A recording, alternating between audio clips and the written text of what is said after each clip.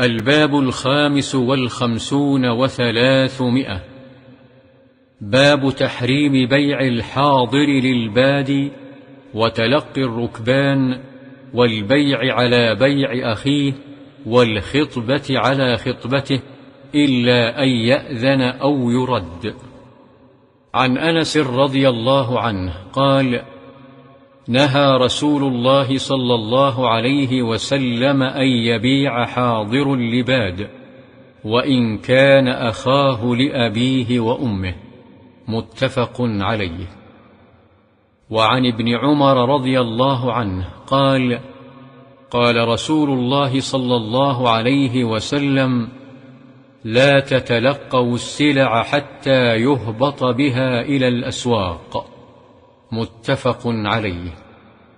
وعن ابن عباس رضي الله عنهما قال قال رسول الله صلى الله عليه وسلم لا تتلقوا الركبان ولا يبع حاضر اللباد. فقال له طاووس ما قوله لا يبع حاضر اللباد؟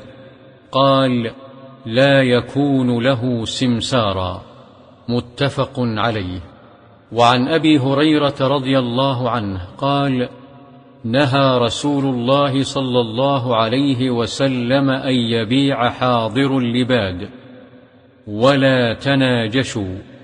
ولا يبع الرجل على بيع أخيه. ولا يخطب على خطبة أخيه. ولا تسأل المرأة طلاق أختها لتكفأ ما في إنائها.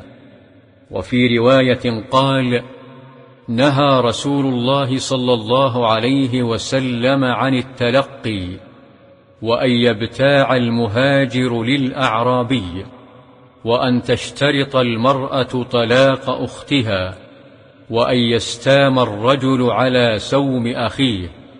ونهى عن النجش والتصرية متفق عليه.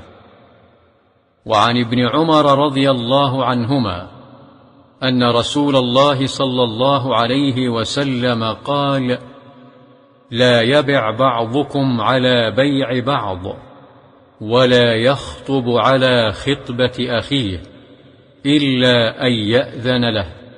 متفق عليه. وهذا لفظ مسلم.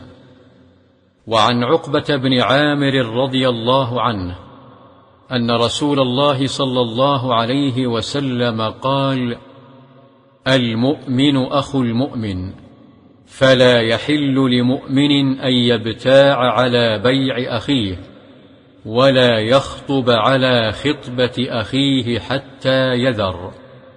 رواه مسلم.